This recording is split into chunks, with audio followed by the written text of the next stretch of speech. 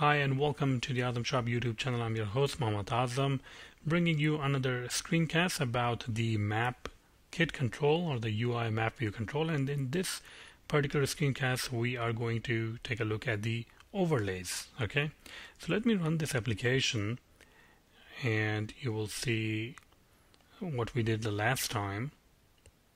Well, last time we displayed a chicken. So if you haven't watched that video, I would highly recommend that you do so. So what we want to do is create an overlay for our map or on our map. Now overlay can be used in many different ways. You can have an overlay uh, kind of like over here. Um, I don't know, like uh, anything you can display. You can display an advertisement in it. Uh, you just want to display an, uh, an image in it. You can do that. Um, you can just display some signs on it. It's just an overlay. You can also create overlays to track the distance, like if you are running outside, if you're jogging outside, and you want to kind of like uh, draw a trail of where you are running, then you can create or you can use an overlay to create that kind of trail that where you're jogging outside. Okay, and it will create the overlay on the map. Uh, so in this particular screencast, we're just going to create a very simple polygon overlay. And we are just going to also display um, a, what is that called, the uh, image. We are going to display an image inside the overlay. So let's get started. Now these are some coordinates that I already uh, computed.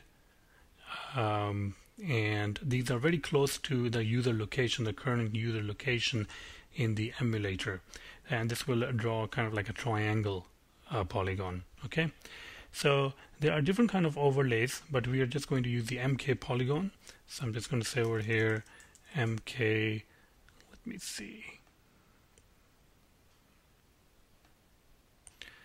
so we have uh, MK polygon okay? And this will create of course a polygon view. Uh, and then we can say over here mk polygon uh, polygon with coordinates. And we can just feed it with the coordinates let's say commuter lot coordinates. I got these coordinates from somewhere. And I'm just going to say that there are four of these okay? So that it adds up a correct uh, polygon map view add overlay and then I'm just going to say okay um, add the overlay which is a MK polygon overlay and just add the overlay.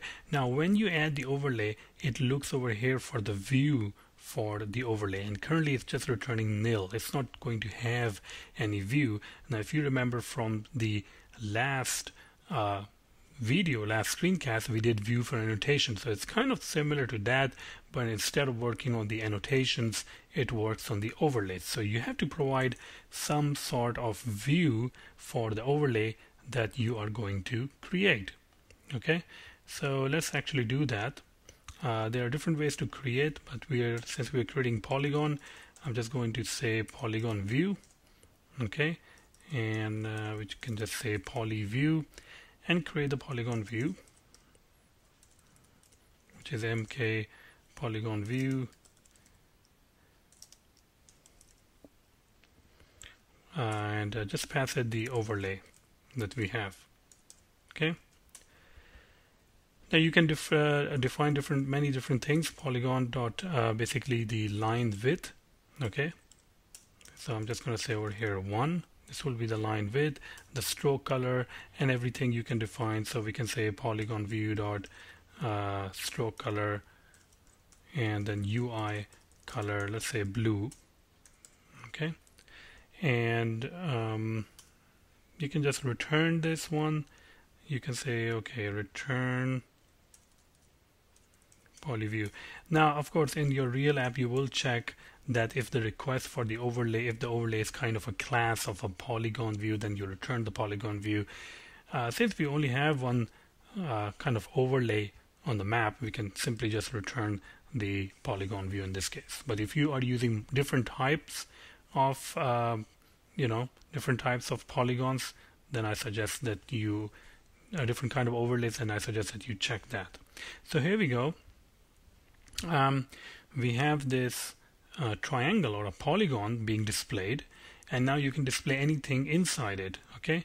So let's say that if I have if I want to say polygon or polyview dot fill color which is the uh, color uh, the inside color I can say red. And uh, let's run it so now you'll see that the polygon is now red and it's displayed on top of the top on the uh, on the map as an overlay. But if we can get things a little bit more interesting because we can say uh, color with pattern image and you can actually provide the image um, in this case I'm just going to say image name and I have a flag so I'm just going to provide the name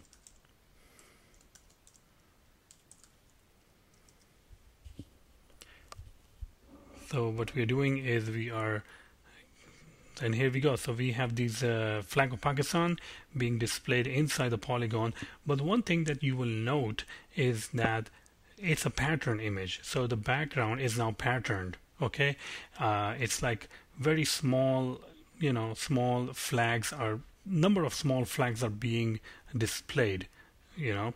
And you don't really want to do that. I mean if if that is your requirement that's okay but I would suggest that uh, if you want to display these kind of things, you can easily create a, uh, you know, the size for on which the map will be displayed or the image will be displayed. So let's do that. I'm actually just going to copy a little bit of code that I have already written. So, and we can go into the detail. Okay. And let's run this one and then you'll have a much better idea of what is going on. Here we go. So now you can see that the whole flag is actually being displayed in inside the polygon. Okay, and this is very easy to achieve. Let's see what we are doing over here. We're just getting the the bounding map rectangle, and then we are creating the size and the width, and then we are arranging our image to that particular size, and then feeding, of course, the image to the fill color. And the effect is of course that instead of having small images, patterned images of the flag, we now have one large image that is covering the complete polygon. I think this is a very nice, uh, you know, nice way to display. Like if you want to display, you can mark different polygons and map out your country, and then display a map.